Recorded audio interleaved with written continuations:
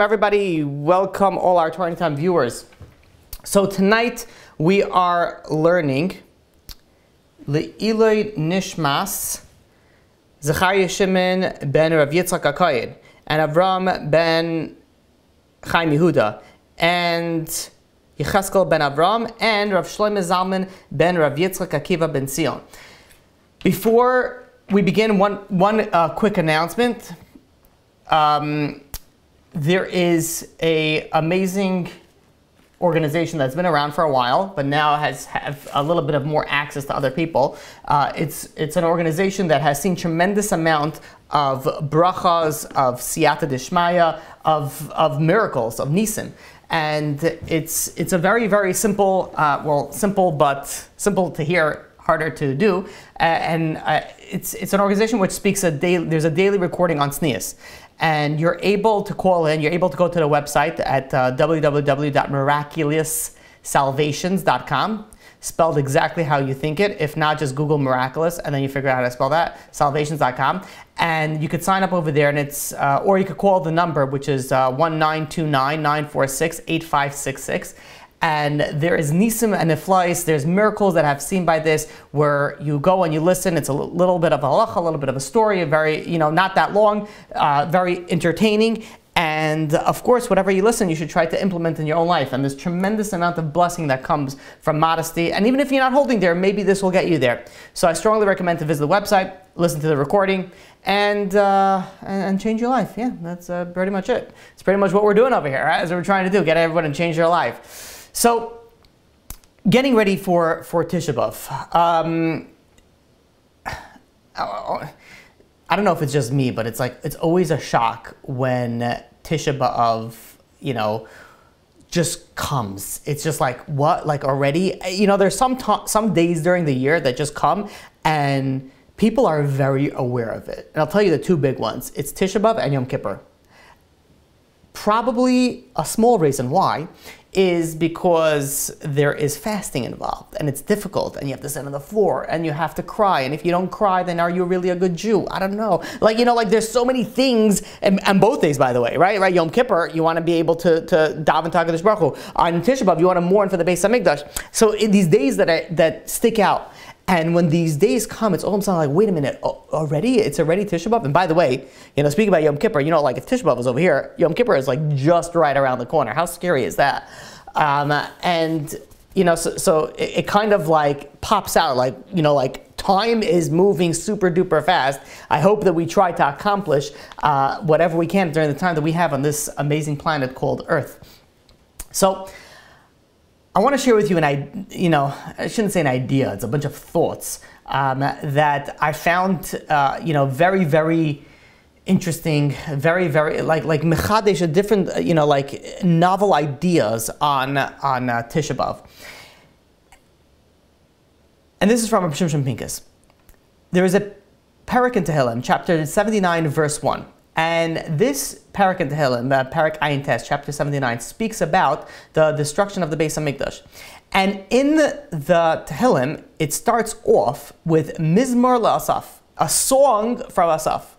Now the Medrash in Eichah Rabbah, in the fourth chapter, goes on and says, wait a minute, we're speaking about the destruction of the Beis Hamikdash. We're, we're, speaking about the destruction of the holy temple of where the Jewish people were able to connect to HaKadosh Baruch Hu, why does it start off with a song? Mizmar? That's how you start off with a song? If anything, you should start it off as, a, uh, you know, like a mourning to Asaf, a wailing to Asaf, a eulogy to Asaf. There's so many other words. Why are we starting off with a Mizmor, a song? This is a time of sorrow. This is a time of, of, of sadness. This is a time not of song, of joyfulness. So, the the, the, the Medrash goes on and says that what happened was, is that HaKadosh Baruch Hu was going to go and destroy the Jewish people. because they were falling. But instead, HaKadosh Baruch Hu vented his anger, so to speak, and we'll soon see what that means, on the on the Beis HaMikdash. Now, the, the Medrash goes and says like this. It goes and says that, imagine, it brings a story. Imagine you had a king who had a son, and he built this beautiful chamber for his son, and uh, the son, unfortunately, went off the path. He wasn't on the same path that the king wanted him to be. And he started getting uh, involved with bad things, and he started going on the wrong path, and he ended up doing, you know, evil, evil things, wicked things. So the king went and ran into this chamber, this, this like palace, this room that, that the king built, and he started ripping down the court curtains, destroying the room. When this king's son saw, when, when, the, when the teacher, I'm sorry, of the king's son saw what the king was doing, he sat down and he began to play his flute. And he was playing his flute, playing a musical uh, you know, instrument while the king is destroying this room. So the people went over to him and says, I don't understand, what are you doing? You're the teacher of the prince. Why are you so happy right now that the king is destroying the son's room? And the, the teacher goes and says, Look at how amazing it is. What do you mean? It says the king was very, very angry, very upset at his son. He's venting out, uh, so to speak, the anger on the room and not on his son. And that's a great thing. Like, I'm so glad that he's not, and my, this is my student, and he's not doing anything to the student. Instead, he decided to destroy the room that he built for the student. So, of course, I'm going to be happy because the student is going to survive. The prince is going to survive. and this is what the Medrash says. It says, Kach Amru Asaf. This is what they said to Asaf. Hakadosh Baruch Hu hechev heichal umigdash. Hakadosh Baruch Hu is destroying the base of Migdash. Vata Yoshev u'mezamer. You're sitting over here and you're singing a song for Asaf. It says in Tel over here. Mizmer le'Asaf. Amar lahem. Asaf replied to them. Mizamer ani. I'm singing now. I'm singing the song now. Sheshafach Hakadosh Baruch Hu es chamasay ala itzim v'alavanim. That Hakadosh Baruch Hu God went and He took out his chamasa, his wrath, on the stones and the sticks. And he didn't turn his wrath onto Klal Yisrael. So first of all, we have to ask a question. Like, what does it mean? Uh, HaKadosh Baruch Hu is angry? What is he? He's venting? Hey, imagine you have a guy who's really, really angry, and he's got into a fight with his wife or with his child, and he goes over to the wall and he punches a hole through the wall. And everybody's like, wow, that's amazing. He punched the wall and he didn't punch his wife. Like that, so like he vented it out. Like this is how we understand like this Baruch Like what's going on over here? How do we begin to understand this concept? Okay, like this is a famous idea that we know that Hakadosh Baruch Hu put his anger on the Beis Hamikdash and on the Jewish people. But how do we understand that Hakadosh Baruch Hu is not a human being that just, you know, like gets angry. When we speak about these terms in HaKadosh Baruch Hu, it's not that he's actually angry or happy or anything like that. It's terms that we're able to understand it. It's anthropomorphic. It's, it's terms that human beings are able to comprehend, to understand HaKadosh Baruch Hu. Not that HaKadosh Baruch Hu got angry and now we have to appease him or we daven that he's going to be happy. Of course, he's going to be happy because he wants us to be able to succeed, but not the fact that, you know, there's, it's like a moody situation. So in order to explain this, I want to share with you two stories. There was once a artist, master artist, that he wanted his uh, he wanted to create a painting that is going to be his magnum opus. It's going to be his his like painting that everybody's gonna be like, whoa, like this is the painting of this amazing painter. And you know, he had tremendous amount of talent and he's been painting for many, many years, but like nothing stuck out. So he decided he's gonna make this huge, magnificent, lifelike painting. He goes up to a mountain and he builds this tremendous like easel that he's able to put this huge canvas and he's gonna make it very, very lifelike of the scene that he sees. And he's sitting over there for days, which turns into weeks day and night, almost till, from the full day until it gets nighttime. He's sitting over there and he's painting and he's working so meticulously, so carefully. He wants to make sure that everything is perfect on this painting. After a few weeks, he's finally she finally finishes this painting, and his friend just happens to come and and to, to look at it. He climbs up the mountain and says, "You've been working on something for weeks. I want to see it already." So he goes up and he's like, wow, this is unbelievable. Such a lifelike painting. He sees the mountains and the trees and there's birds flying. It was so realistic. but who is more, you know, who can critique a painter better than himself? He's going and he's like, no, I have to make sure that it's perfect. And he's because the painting was so huge, he had to take it. He he painted it in sections. So in order to see the whole thing, you have to take a step back. You have to look at it from an from from apart from far enough that you're able to see the whole thing.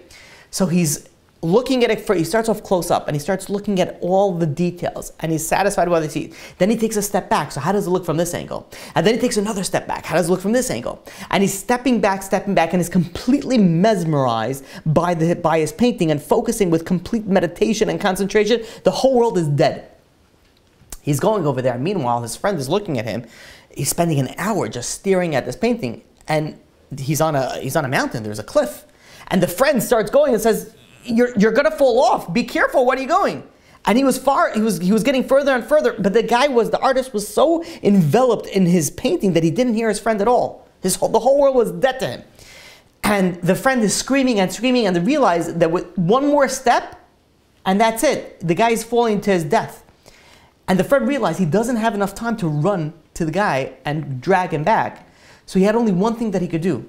He ran to the painting which was close by. He had a pocket knife and he starts slashing the painting, crossing it, you know, like, and things are falling off. The artist wakes up from his trance. He's like, Are you crazy? Like, what are you doing? This is my life work. I've spent so many weeks on this. My blood, sweat, and tears are in this. What are you doing? And the friend screams back to him, I just saved your life. Look behind you. And he looks behind him and he doesn't see anything. He looks down at the cliff. He was one step away from sudden death from instant death. and thankfully, his friend saved his life. The Jewish people were one step away from sudden death. And HaKadosh Baruch Hu had to save us. How did he save us? He saved us by destroying the Beis HaMikdash. Still difficult to understand, so let me explain you to another story. Listen to this amazing story. This is a story that has to be heard and listened to every single year before Tisha B'Av. It's unbelievable. The Dubno Maggid goes and says as follows. There was once this couple, this amazing couple, this couple that you know, one of those couples that they just do good for everybody at all times. At every, they're just like an amazing, amazing couple. The house was always open. They were very, Baruch Hashem, they were blessed with a lot of money. They were very wealthy. The husband was very successful. They always had guests coming into their house. They had most of the rooms were just guest rooms. They, you know, if somebody came in hungry, he left sat, satiated. He left with his pockets full, whatever. If he was collecting for money, everybody went to them, left happy not only that, they weren't, you know, some people that have money or in a certain, you know, level. Okay, I'll help you to a certain extent. This couple, it's like they got down and dirty. It's like, oh, you're making a brisk. Do you need help schlepping tables? Do you need help doing this? They went and they physically schlepped and they sweat and they, they, it, there was no, you know, standard for them. Like, oh no, we have to be, you know, we're the wealthy people in town. We have to be like this. No, no, no. Anything that the people needed, they were there to help. They were there, they had an um, unbelievable shalom bayis. You know, people came over to them with their problems, whether it's in business, and the guy gave advice and he loaned them money and gave them free loans and maybe opened a business for them. And then if somebody had marriage problems, they sat together with the, the husband and wife and they were able to talk it out and be like, okay, why don't you try this? Like free marriage advice, free business advice. They were unbelievable on all angles. Even the people are wondering, like, wait a minute, when does this guy work? He's signing checks all day. He's helping people all day. He's never in the office. And Taka, he was actually close to bankruptcy because he was just helping so much, it's too much that he was, you know, draining his bank account. He wasn't able to work. But you could imagine the love, the respect, the admiration that people had for this couple. And this couple was the, the, the leaders of this generation, even though he wasn't the biggest rabbi. And even though, you know, she wasn't the biggest rebbetzin, but everybody realized this couple, everybody loved them like, they just gave so much to the community. There was one issue, and that issue was is that this couple didn't have any children. And everybody was davening for this couple. Like literally everybody, even people that didn't have children were davening for them. Like, come on, God! Like these people are amazing. You got like, like these are unbelievable people. There's certain people that you know people can get jealous of, but there's certain people that you can't get jealous of them, even if they're blessed with so much. But they just give so much. They're nonstop giving. Those people like are protected from it, like an ayin hara. They're protected from jealousy. People just love them. There was mamish nothing. No one can say anything negative about them. And the years went on, and they didn't have any children. 20 years go by. And they try all the mikubalim, all the doctors, everybody. They, what stone didn't they? Money was not an issue. They tried everything and anything, but unfortunately, it wasn't successful. 20 years go by, and uh, suddenly there's news that spreads through town like wildfire. It's like, did you hear? They're pregnant. No one had to say their name. People said they're pregnant. Are you serious? It's been 22 years. I Like, and everybody instantly they are pregnant. Everybody was davening. They went out. Are you okay? Do you need anything? Maybe I get you. You don't say, you know, nobody wanted to bother them. Nine months, we're not going to bother you. Come on, you're pregnant. You know, like everybody bent over backwards, whatever they could do to help this amazing couple. Finally, nine months go by, and the time comes. The, the wife goes and says, you know, it's time to go to the hospital. And they rush to the hospital, and uh, the doctor quickly takes a look at it, takes him in, starts doing some scans, starts, starts looking, and then he goes and he says, to the husband, usually the husband would, you know, depending on the type of uh, background that you have, whether he's going to be in the room or right outside the room. But the, the doctor goes over to the husband and says, I'm sorry, but you have to wait in the waiting room. He says, uh, there, there's a little bit of a complication over here. Like, like nobody could be inside. No family is allowed to be inside.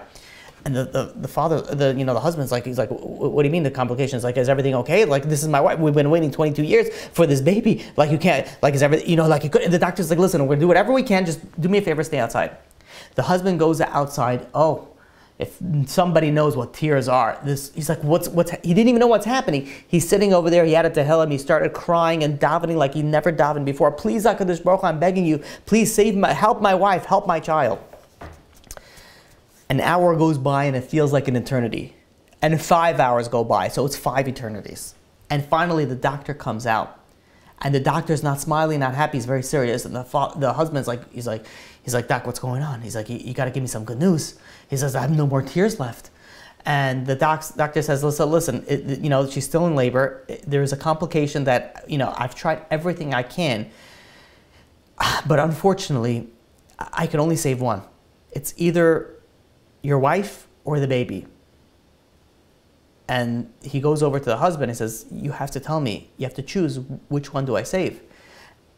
And the husband goes and says, he says, he says, what? He says, no, save both of them. But like, what are you talking about? He says, you got to save both of them. The doctor says, we tried for five hours. We can't save both of them. We can only save one. You have to choose. You have to tell me, who do you want me to save?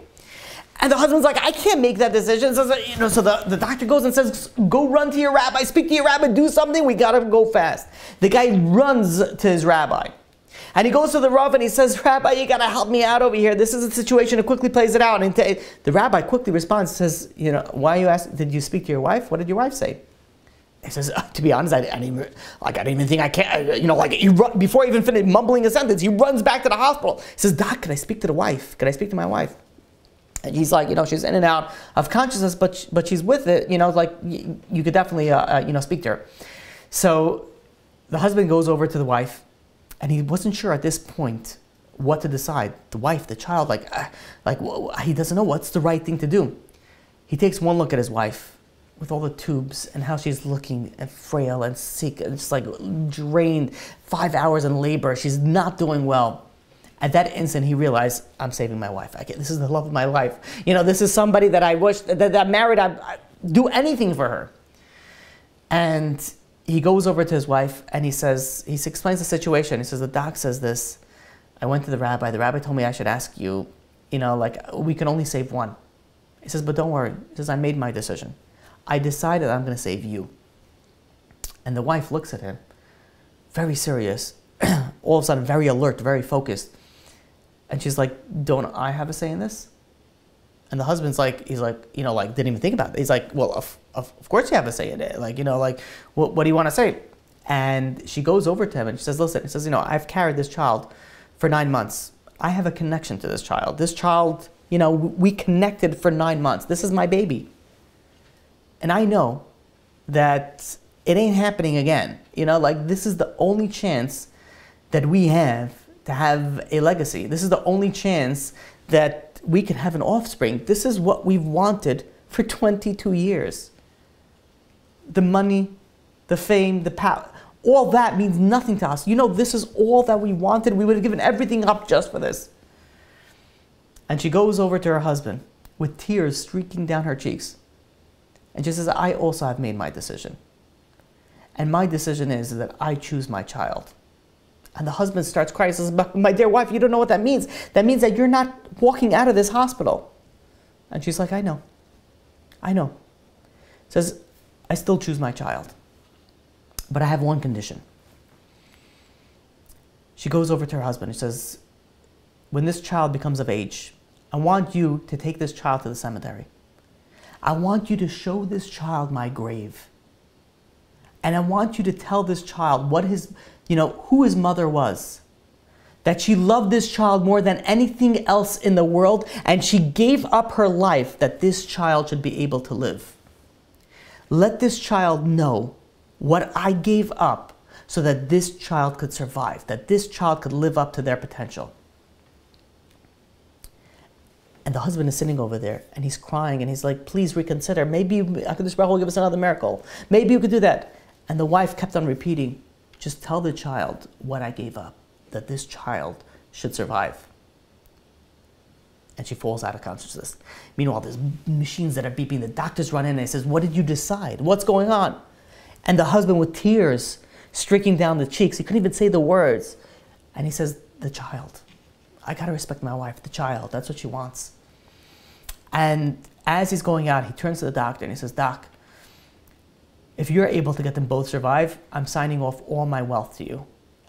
Do whatever you can to make them both survive. I'll give you everything. You'll have everything.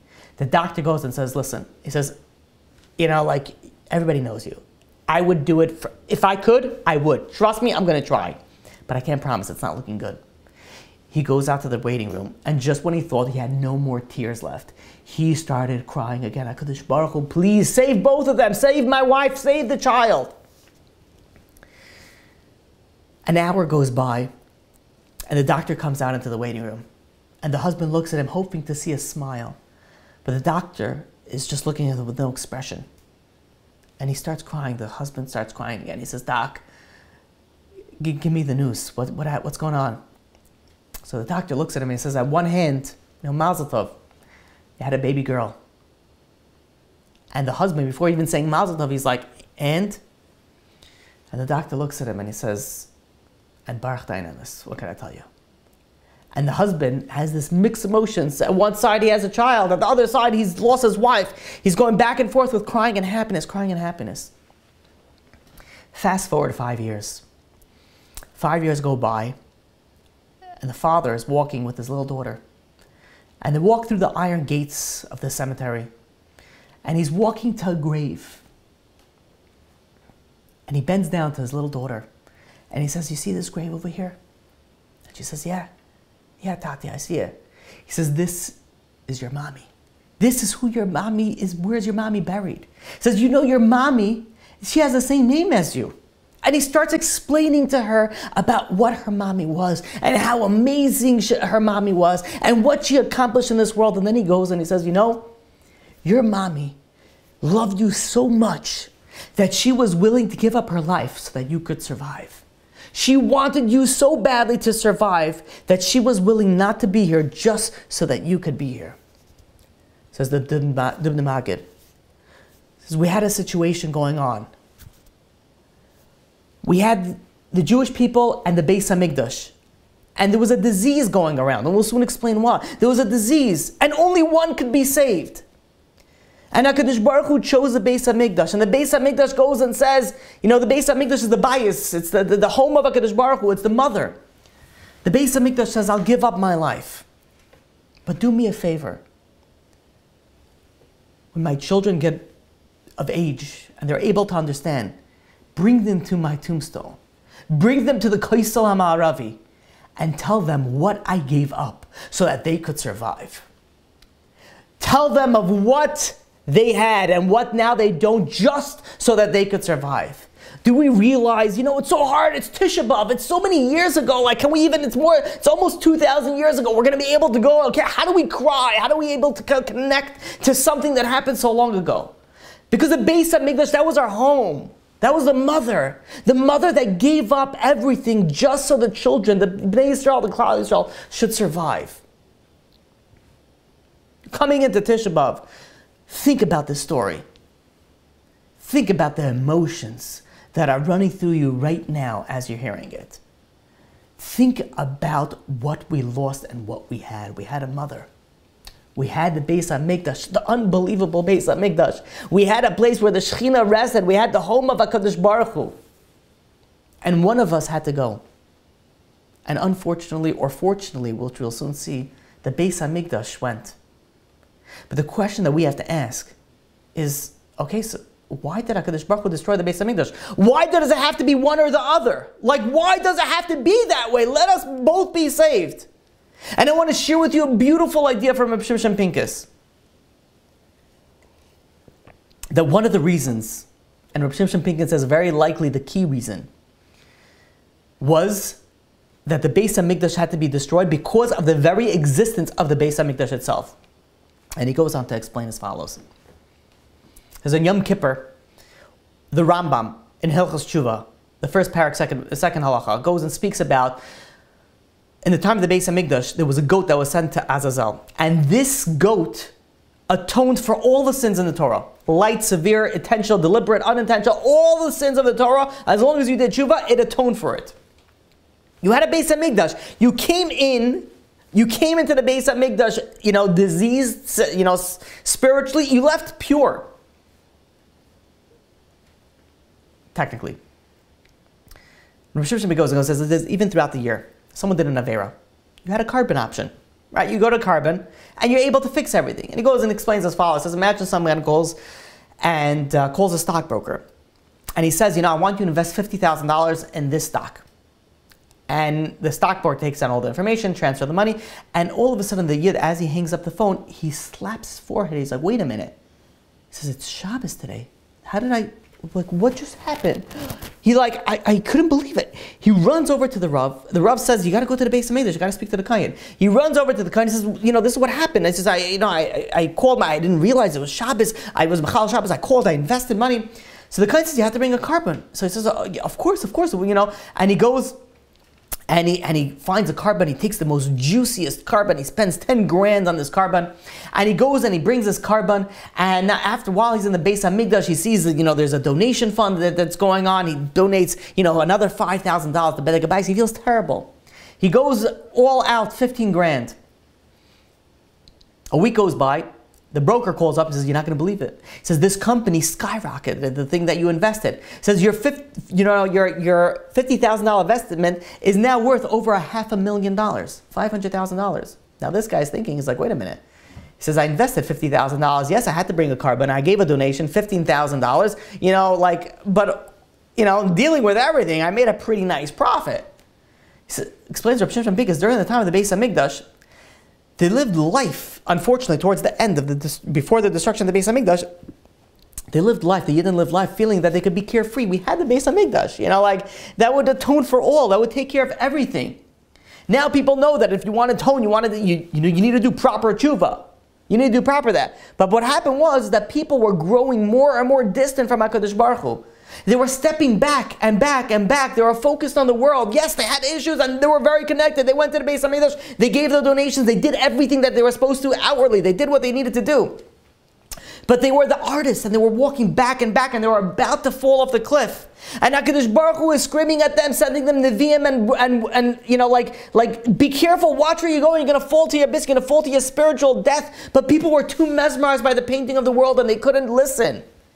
So there was only one choice, one option that HaKadosh Baruch Hu had. He had to destroy the painting, he had to destroy the Beis HaMikdash, so that people wake up be like, wait a minute, like what's going on? Like where are we? How far have we fallen? And this is why the Medrash says that HaKadosh Baruch Hu poured out his wrath on the sticks and stones. I can imagine you have a, a child that rides his bike very dangerously, not very carefully, in the street, out of the street, doesn't look, doesn't do anything. So the father could go and either smack him up and says, you better be careful, who knows, chas v'shalom, what can happen? You could get hit by a car, unfortunately.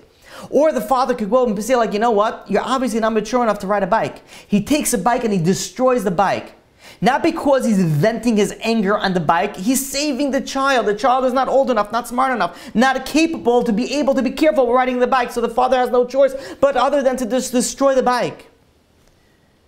This is why the Tehillim starts off Mizmar LaAsaf, a song for Asaf. Yes, HaKadosh Baruch Hu destroyed the Beis HaMikdash, but he did that to save the child, the children, the Klal Yisrael, who were too focused on the painting, too focused on the world. They didn't see the big picture, and they were going to fall to the spiritual abyss. Let's understand this concept a little more clearly. The Gemara in Gittin, page 56a,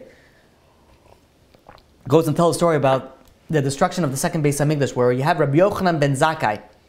He went and he had to be smuggled out of Yerushalayim to speak to the, you know, the Roman general at that time, Vespasian. And the reason why he had to sneak out is because there was uh, a, a, group of Jewish people that wanted to fight the Romans. And then you have a group of Jewish people that just wanted to surrender to them and says, you know, let's make peace, let's work it out.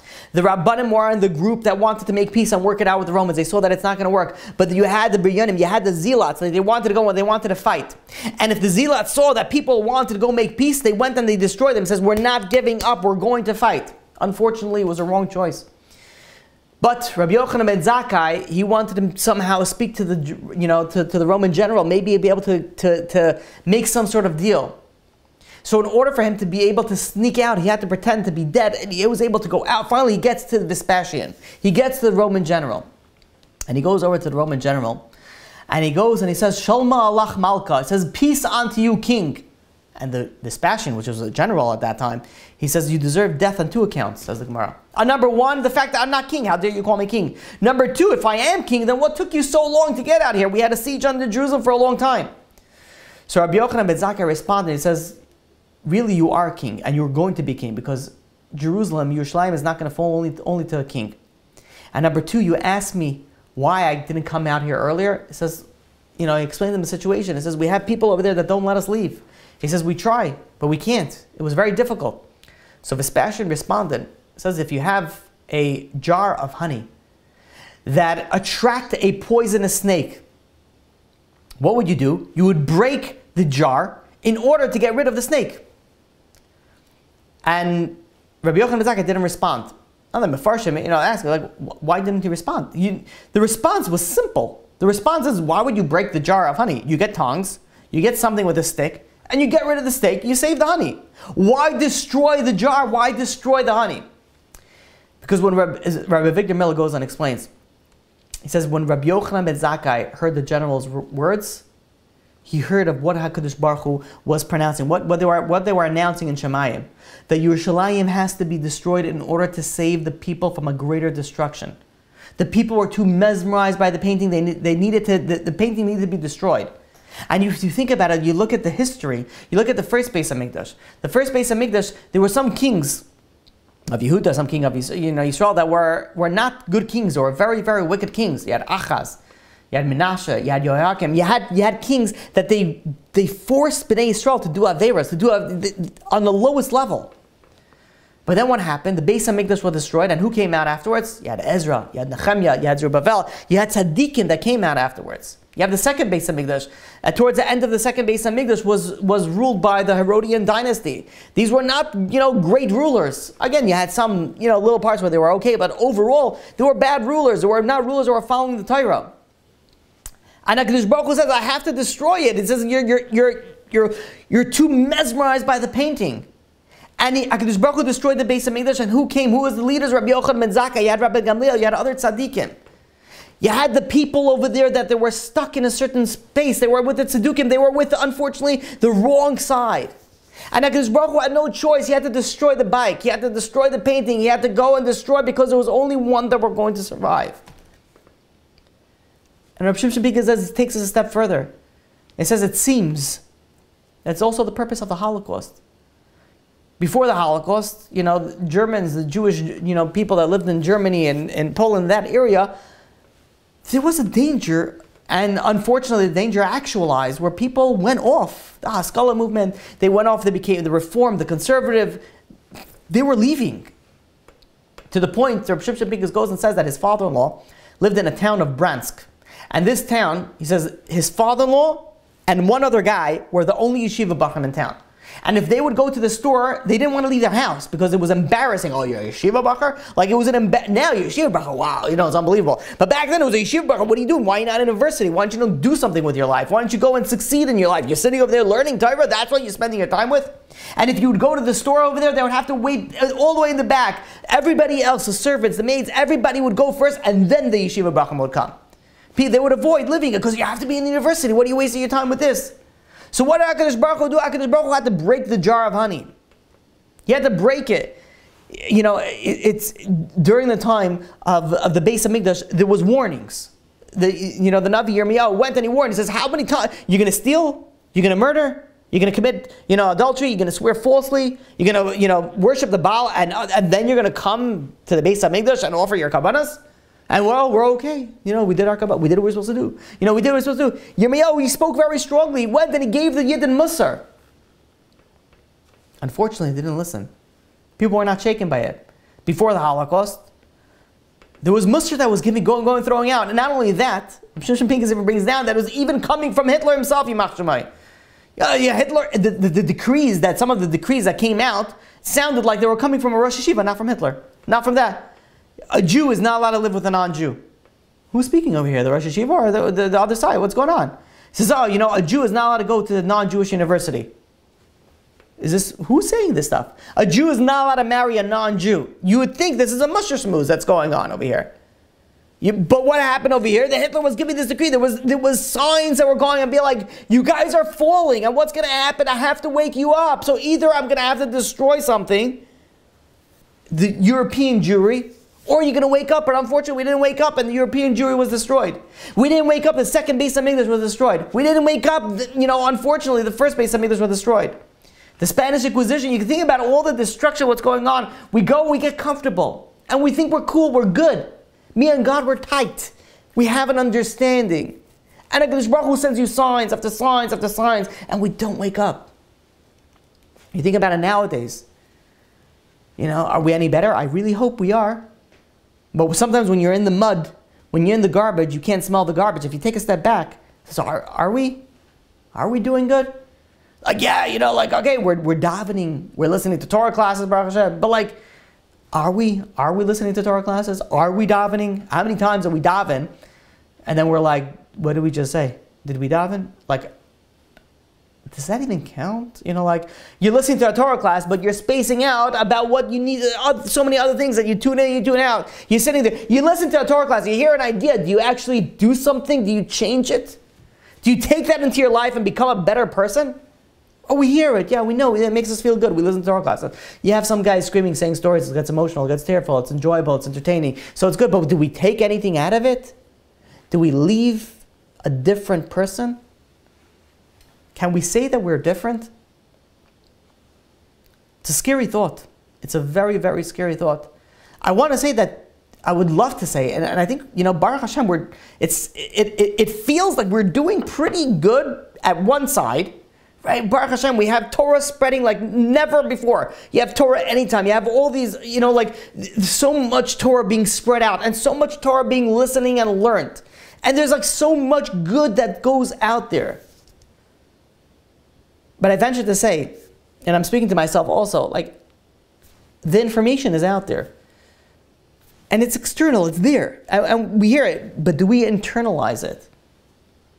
Do we take it to the next level and internalize it? Each one has to ask you, you know, maybe yes, maybe not. You have to ask yourself that question.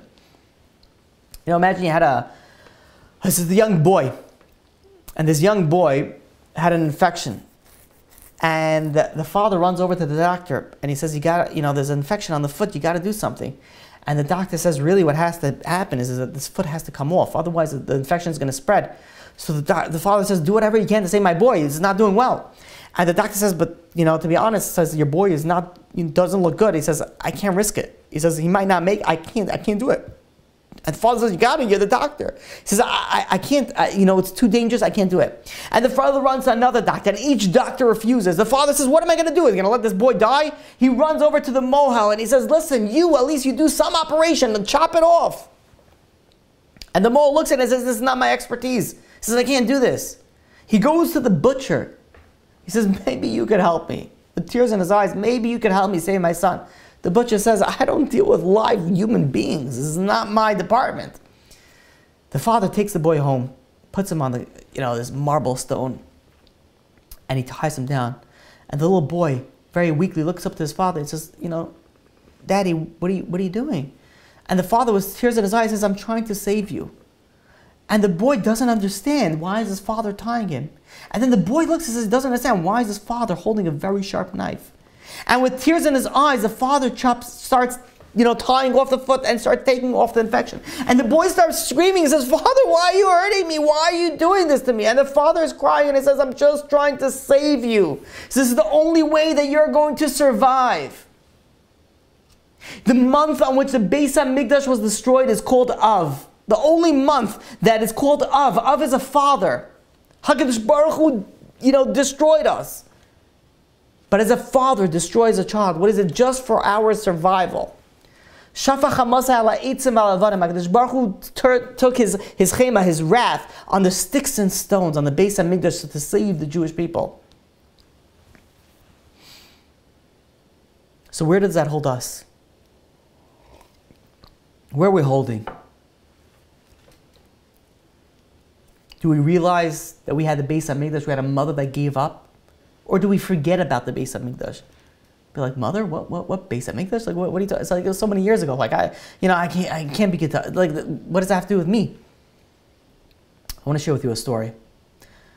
This is a story that's written by Rabbi Chil Spiro, and the story about a boy, a 15-year-old boy, Yaakov Vaslivik, if I'm pronouncing his name right, a boy that grew up in a secular background, and he immigrated from Poland. And at 15 years old, he got enrolled to the Talmudic Academy in Baltimore. But he didn't know a thing about Judaism. He didn't know a thing about Aleph so he had to start from the bottom. But he was very motivated to learn. To tell you how much his motivation was, he went, and as a 15 year old, he went to the second grade. A 15 year old sitting with a bunch of seven year olds, less than half his age. And he's sitting over there, he's learning the Aleph Beis, he's learning how to read, he's learning everything that he needs to. And a few months go by, they say, okay, you're ready to go to the next grade and they skip into sixth grade and he's learning and he's, he's accomplishing. And before the year is over, he's in seventh grade. And the Rebbe is learning Gemara. And again, this boy, you know, he's, he's advancing, but like he's still, you know, just started. And, you know, it was very, very difficult to him to comprehend, you know, to, you know, the, the, and it just shows you like if he didn't understand something, it bothered him it's like, no, no, I, I, need to understand this. And if he didn't get it, and the Rebbe explained it again and again and again, you saw the tears in this 15 year old boy, and he was in seventh grade, you know, sitting with a bunch of 12 year olds, 11 year olds, 12 year olds. He's sitting over there with tears in his eyes. Rebbe, please explain it to me again. That is the devotion that this boy had. The Rebbe explained to him until finally he got it, and then the Rebbe went on to explain about the mitzvah of Bikurim. Bikurim is the first fruit that are brought to the Beis HaMikdash. Now, for the people that live near Yerushalayim, they could bring the fresh fruit because by the time they leave their house, so they get to Yerushalayim, the fruit is still fresh. But if you add people that live further away, by the time they travel, it's not like now that you could travel within a few hours anywhere around Eretz Israel, you can get to Yerushalayim, but it takes time. And if it takes time, the fruit can spoil. And you don't want to bring spoiled fruit to Yerushalayim, to, to the Beis HaMikdash, as Bikurim. So what people used to do is, people that live further away, they would bring dry fruit. So you had people that bring the fresh fruit, and you had people that bring the dry fruit. And this Rebbe went and utilized this concept, this idea, as a musar shmuz to go and go and to, to speak musar about the you know people and their service to God. You have some people that serve God as fresh fruit, and you have some people that serve God as, you know, dried fruit. You have some people that serve God that they come from a religious background. They come from a religious home. They come from a place where they were, you know, you know, Torah and, Yiddishkeit and Judaism was uh, looked up for, and, and, this is what it was focused. And they come in with fresh fruit to serve HaKadosh Baruch Hu, to God. And then you have people that come in from you know backgrounds that wasn't so in, inducive for spiritual growth. It wasn't so you know easy to go and to learn because the parents were very angry, very upset. What are you doing? The grandparents was, what you, I don't understand what are you doing. The, the whole school system, they were in, they were in, a, in an environment that wasn't conducive for growth, for growth. So, but they ended up trying and they brought, they came with whatever spirituality they were they had, and they brought their dried fruit. So the rabbi goes and says both are accepted to Hakadosh Baruch Hu. You have people with fresh fruit, and you have people with dry fruit. Both are accepted to Hakadosh Baruch Hu. And the Rebbe was trying to give, you know, like help this boy. Says even though you come from background, but it's still acceptable. But the boy didn't, you know, ask a question. He raised his hand, and with tears in his eyes, he says, "Rebbe, Rabbi." He what type of fruit am I bringing? And the rabbi thought it was clear. You know, like, uh, says, what type of fruit am I bringing? And the rabbi said, I want to share with you a story. There was once a very, very wealthy family. Tremendous amount of wealth. They were, you know, they had they had property, they had land. They were very close to the king. And uh, one day, unfortunately, their magnificent palace, the huge palace, burned to the ground. And the there was a large family, and the father, you know, thank God, Baruch Hashem, all the kids and the and the parents were saved. But the father goes over to the children and says, "Listen, we have to build." And he says, uh, "You know, right now we don't have enough room for everybody to stay, you know, together. So what we're going to do is, is that we're going to go and we're going to send each child to another place to live until we build the palace, and then I will call everybody back, and then we'll be reunited once again." And uh, the father, you know, makes a few phone calls, makes a, uh, the arrangement, and you know the, the oldest child comes a nice beautiful carriage pulls up and it takes this child to you know a different uh, different home. Every child goes and goes into this in this magnificent carriage magnificent magnificent boat wherever they're going to and they get settled in their in their new home. And they're treated like royalty like they really are. They get they go and they go to the tailor and they get a full new wardrobe. They're able to go and treated the way that they ought to be treated. And there was this little nine-year-old girl this nine-year-old Rachel She's sitting and she's thinking, okay, also, I'm going to be like a princess, you know, daddy's a little girl, that's all I was. And she's waiting for the, you know, her, her carriage to come. And this rackety carriage comes and shows up. And she says, you know what, it's probably this ending, you know, probably going to have something amazing. And they pick her up and they bring her to this home. And she thinks she's going to be treated the way that she was treated. But to her dismay, she goes and she comes in. The first thing they give her is they give her a mop and a bucket. And they say, start cleaning. And she's like, what?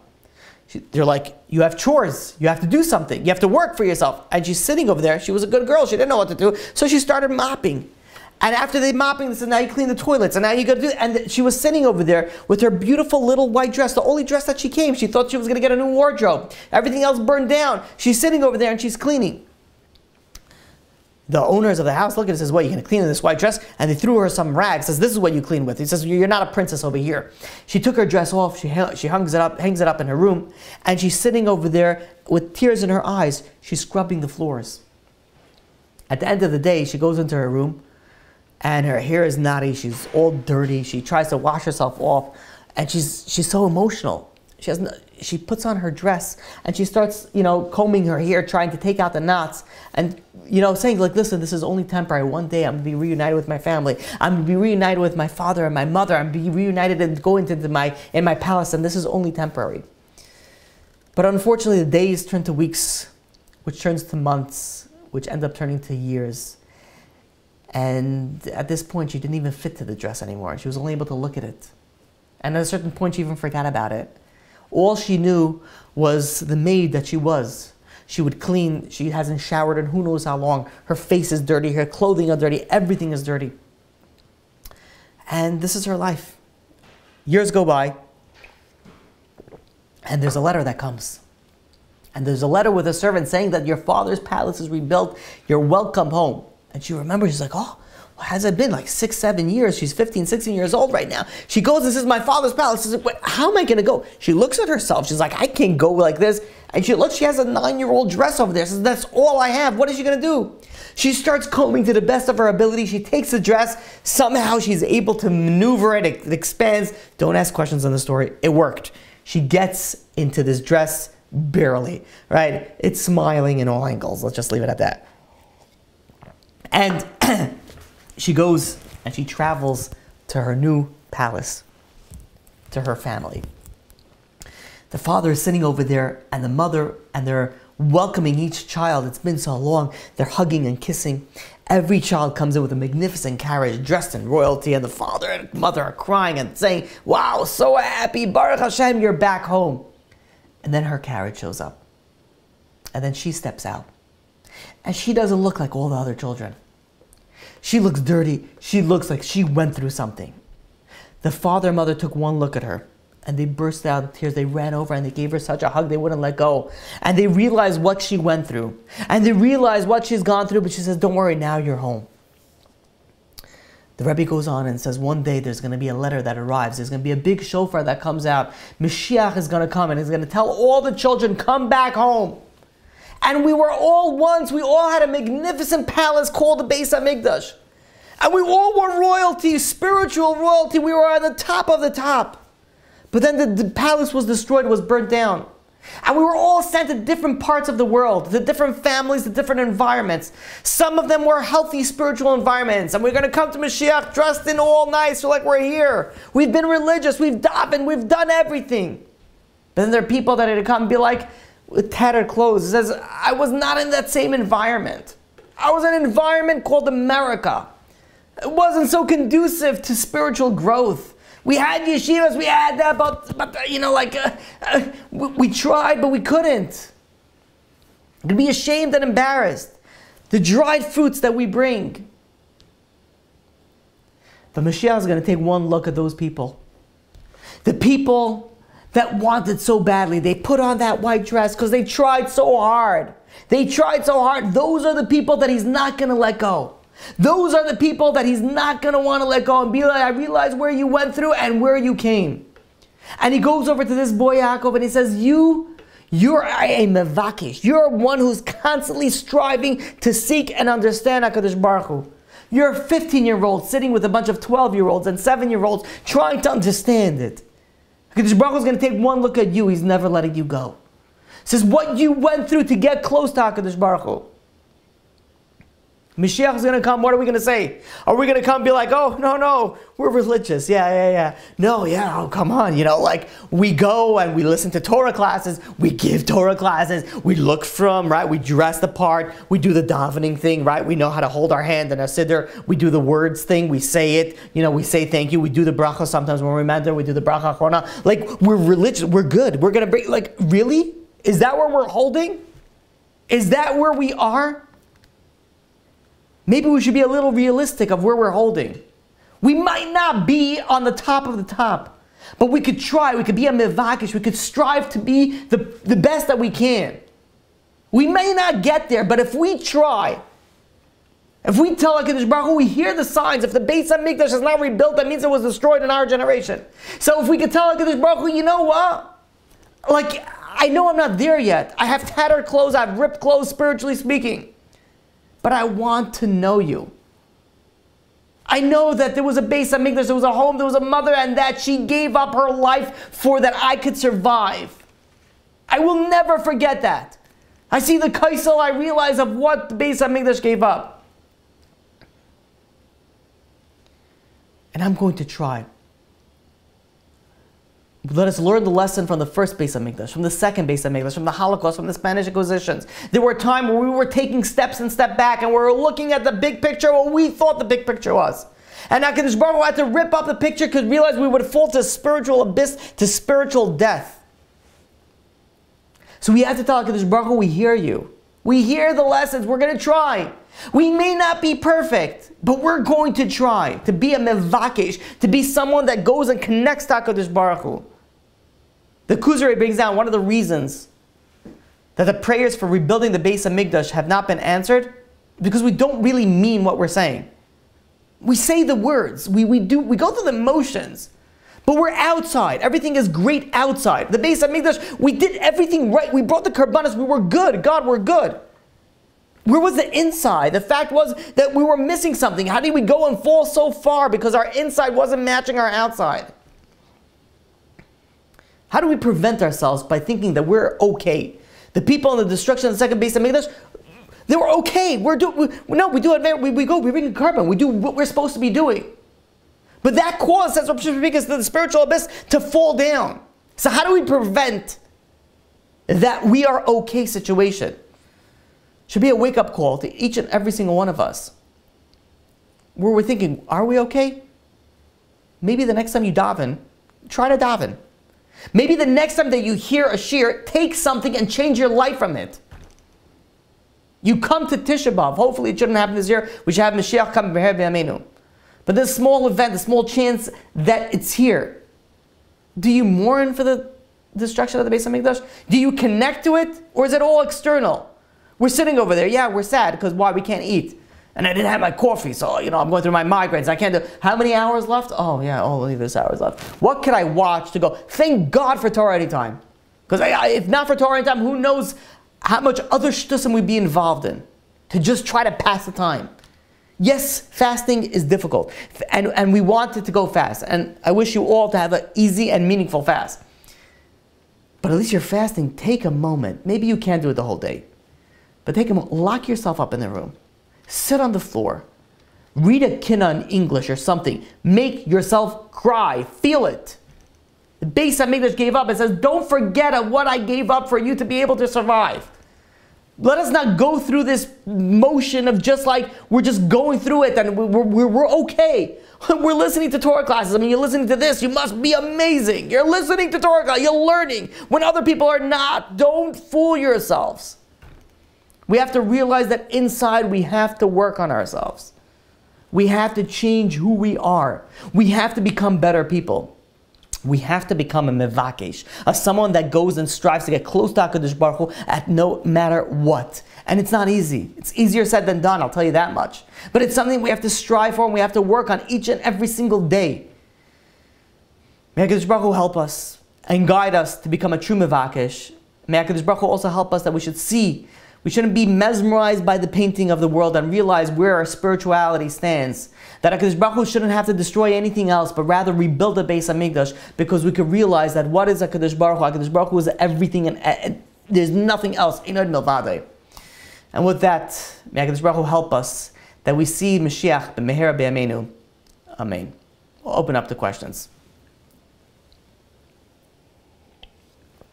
No questions. Amazing. So I wish you all a easy, meaningful fast, a fast that we're able to accomplish a lot and dig deep this time.